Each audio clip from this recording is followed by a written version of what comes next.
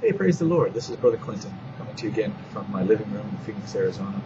This is my humble little mansion here on earth. I want to talk to you today about the difference between a Jehovah's Witness and a Christian. And I want to make clear, first of all, that the reason that I'm doing this is not to slander Jehovah's Witnesses or to create a, a forum of arguments with Jehovah's Witnesses. Uh, if you're a Jehovah's Witness and you want to make a comment on this video, you're welcome to do so. But please be advised that I am not interested in theology and that I'm not interested in being converted to your religion. Um, I am a Christian. I'm a Bible believer. If you want to speak to me, speak as the oracles of God. Don't present to me the doctrines of your religion because I'm not going to converse with that. I will converse with the Word of God. Uh, that said, the reason that I'm making this video is because there are so many out there who are coming to the Lord, who are desiring to know the things of the Lord, and and you're the ones that I'm speaking to. And, and if you're coming to the Lord, if you're just starting to seek God, you're starting to realize that God is calling you, and you're starting to realize that God is holy and you're not, and you need to repent and serve Him and stop living your life the way that you have been up to up until now. If you're doing that, if you're thinking that, if you're having those feelings, you are entering into a battlefield, because Satan, the Lord of your life, who has owned you since the day of your birth, is getting very upset that you're coming out from his darkness into the light. And so he's going to try to do everything he can to distract you. And when you come onto this battlefield, there are lots of smoke screens. A smoke screen, literally speaking, is something that the enemy creates on a battlefield so that you become confused and you don't you can't see and you don't know which way to go.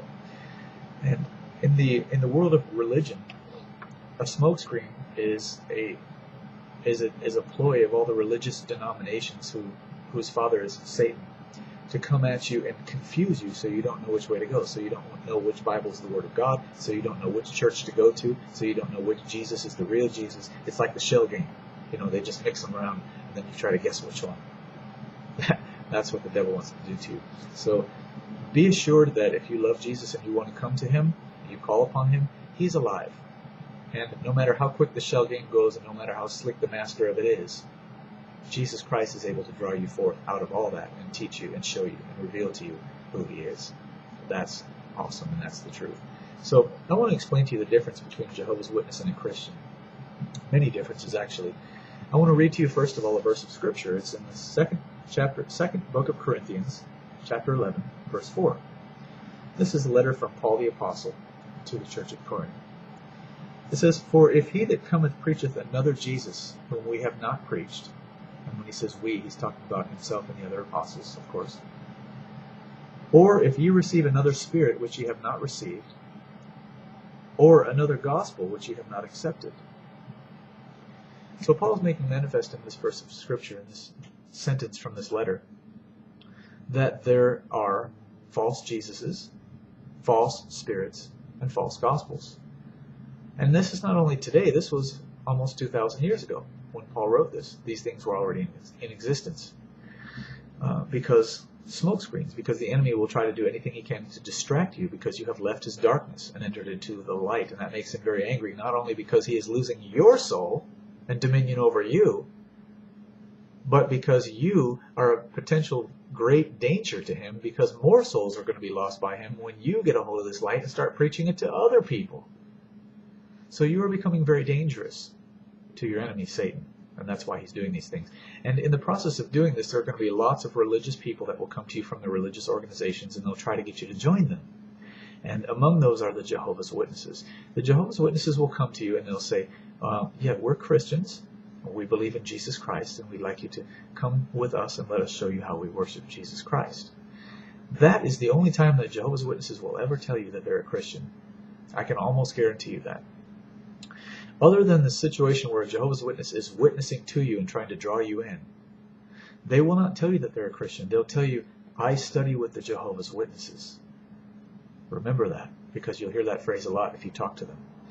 I study with the Jehovah's Witnesses. The reason for that is because the Jehovah's Witnesses are not Christians, they're theologians. They have a perverted Bible, which was uh, authored by a, a man named Charlie Russell about 150 years ago. Charlie Russell was a man who thought that he had a different revelation of God, and so he took some corrupted Greek manuscripts from Westcott and Hort and some other uh, places where it was corrupted, and he put it together into an, an English version of what he calls the Bible. It's called the New World Translation of the Holy Scriptures.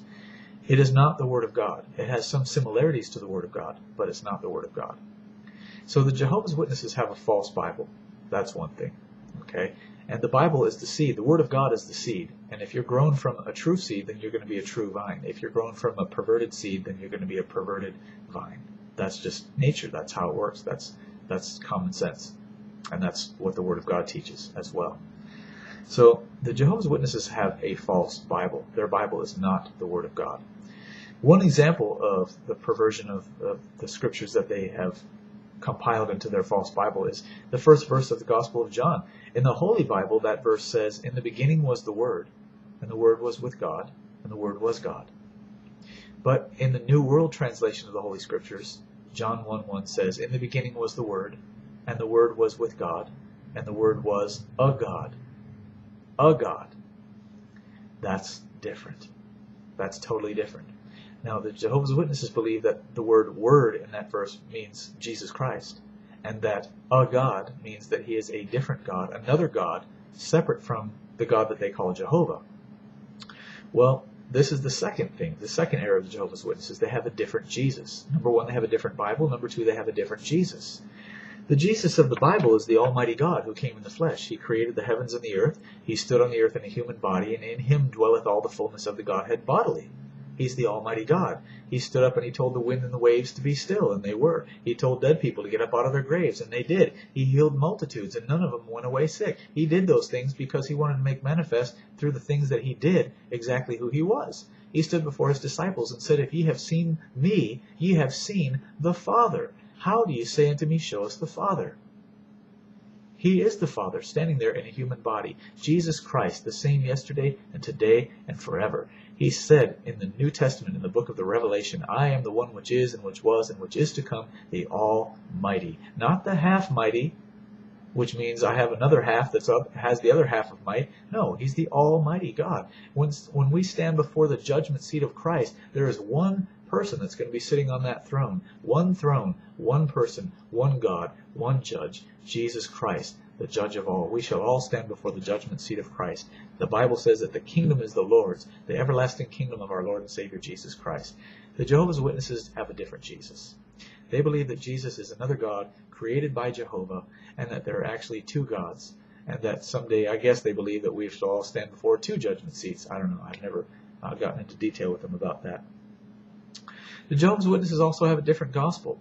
Uh, the gospel of the New Testament in the Bible um, is that Jesus Christ is risen from the dead, and if you'll repent and be baptized in his name, he'll wash away your sins and fill you with his Holy Spirit, and you'll speak with other tongues and prophesy.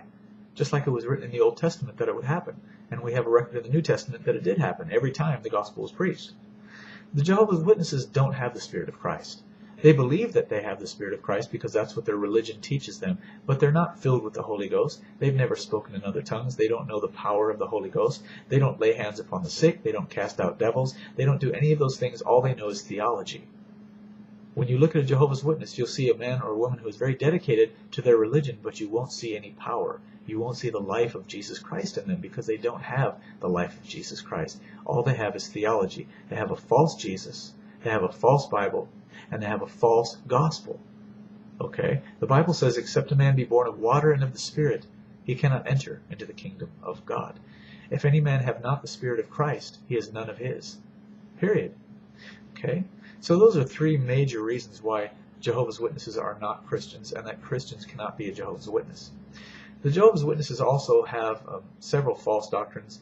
Uh, they believe that the 144,000 who are mentioned in Revelation chapters 7 and 14 are them and that they are the only true church, um, that's ridiculous. You can tell by reading the scripture, uh, even if it's the first time you've ever read the Bible, that the 144,000 that are being spoken of there are 144,000 Jewish people, 12,000 from every tribe of Israel. The scripture even lists every tribe by name. Okay? The Jehovah's Witnesses also teach that there is no hell. That's ridiculous. 54 times in the Bible, the word hell is mentioned. Hell is one of the most prominent themes of the Bible. The God who created it spoke about it very much in his word because he wanted us to know about it. And the Jehovah's Witnesses don't believe that hell exists. Um, and unfortunately, when they get there, they will realize it. but for them it will be too late. So I'm running out of time. I want these things to be a blessing to you, and I'm here for you if you have any questions.